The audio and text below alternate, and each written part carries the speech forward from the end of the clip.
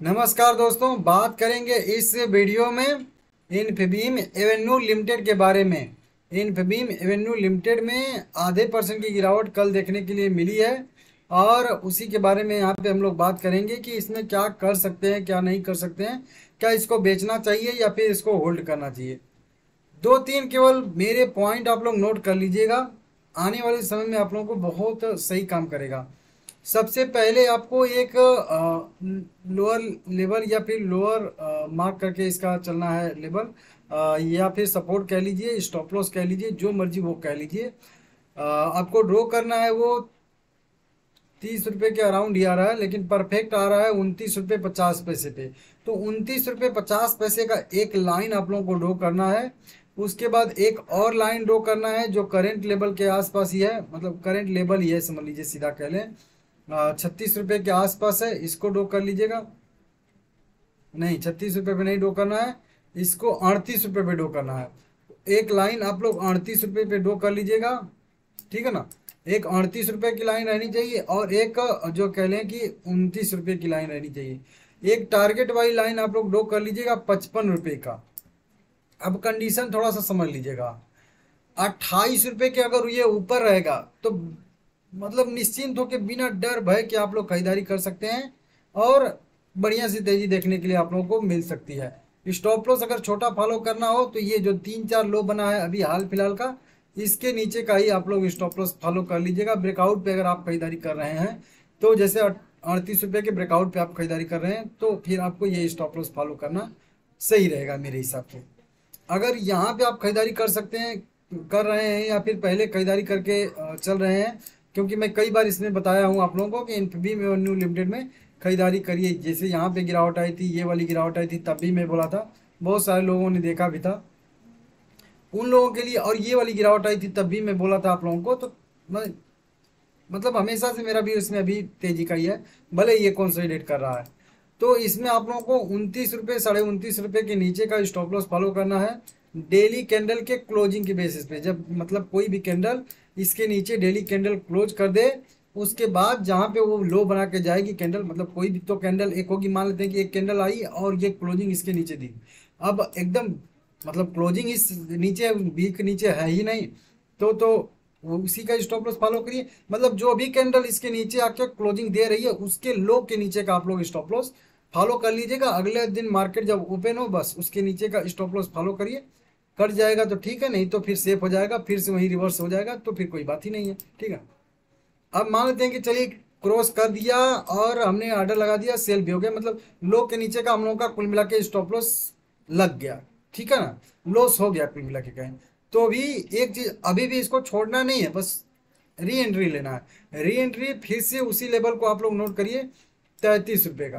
तैंतीस रुपये के नीचे जब तक है तब तक तो छोड़ना है इसको। तैंतीस रुपये के ऊपर जिम ही जाके डेली कैंडल क्लोज करता है या फिर एक दो दिन सस्टेन करता है ऊपर की साइड में जाके तो फिर से आप लोग खरीदारी कर सकते हो। दो ये एंट्री का पॉइंट हो गया और स्टॉप लॉस फॉलो करने का हो गया हम लोगों का प्लान। फिर से अगर मतलब री एंट्री भी होती मतलब एक बार नीचे ब्रेक कर दिया स्टॉप लॉस लेके निकल गए, कहीं पे गया, घूम फिर के फिर से आया, सस्टेन किया, फिर से खरीदारी कर लेंगे। फिर से अगर इसी उनतीस रुपये पचास पैसे के लेवल को फिर से अगर ब्रेक करता है तो फिर से इसमें जो है सेल करके निकल जाना है, दो स्टॉप लॉस हो जाएगा। नहीं, कोई बात नहीं है डायरेक्ट यहीं से ऊपर जाता है तो यहाँ पे पहले तो खरीदारी है ही, पहले से खरीदारी करके रखे हैं हम लोग तो ये दो है ही एंट्री का पॉइंट तीसरी एंट्री अभी यहाँ पे फिर से अभी आप लोग एंट्री ले सकते हो, कोई दिक्कत नहीं है, उनतीस रुपये का स्टॉप लॉस फॉलो करना पड़ेगा। तो ये देख लीजिएगा, छोटा आप तैंतीस रुपये का भी फॉलो कर सकते हैं, लेकिन उसके हिट होने की संभावना रहेगी तो ये आप ध्यान दीजिएगा। तो अभी फिर से खरीदारी कर सकते हैं, अड़तीस रुपये के ऊपर भी खरीदारी कर सकते हैं टारगेट कहाँ पे रहेगा? तो देखिए टारगेट अगर ये पैनिक मतलब करके जाता है तो फिर अड़तालीस रुपये के आसपास एक रेजिस्टेंस फेस करेगा।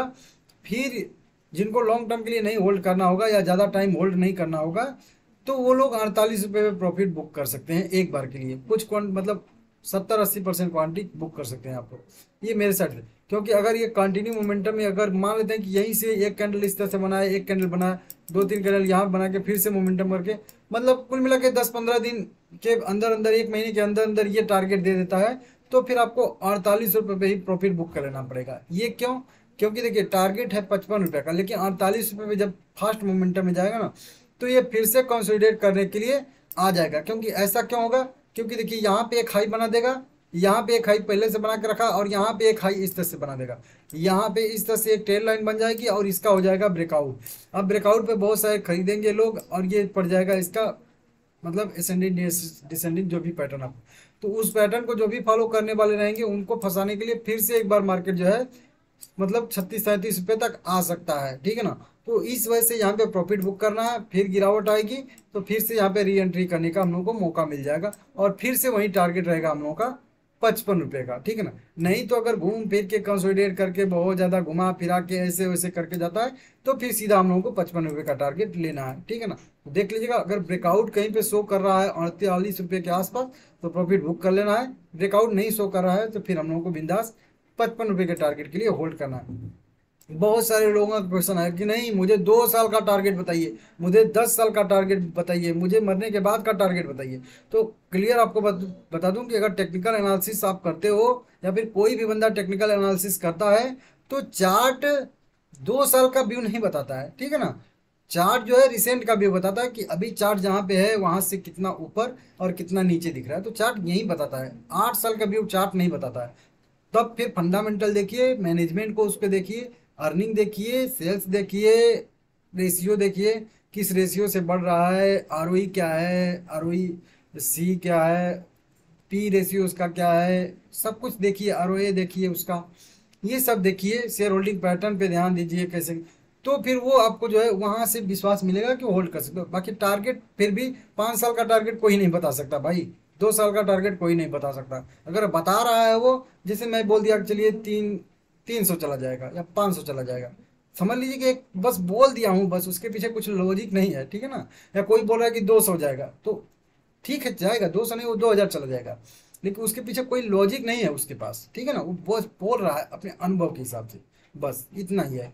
चार्ट पे बस इसमें जो है पचपन रुपये पचपन रुपये के एक पैसे ऊपर नहीं दिख रहा है अभी, फ़िलहाल के लिए। पचपन रुपये इसका मेन टारगेट अभी रहेगा। इसको आप दो महीने का टारगेट मानिए, दस महीने का टारगेट मानिए या दो साल का टारगेट मानिए। जो है बस यही है, ठीक है ना? देख लीजिएगा, आगे भी वीडियो बनाता रहूँगा। वीडियो को लाइक करिएगा, चैनल को सब्सक्राइब करिएगा, तभी मुझे भी थोड़ा सा अच्छा लगता है और मैं ज़्यादा से ज़्यादा वीडियो बनाता हूँ। देख लीजिएगा, दबा के लाइक करिए, ठीक है ना?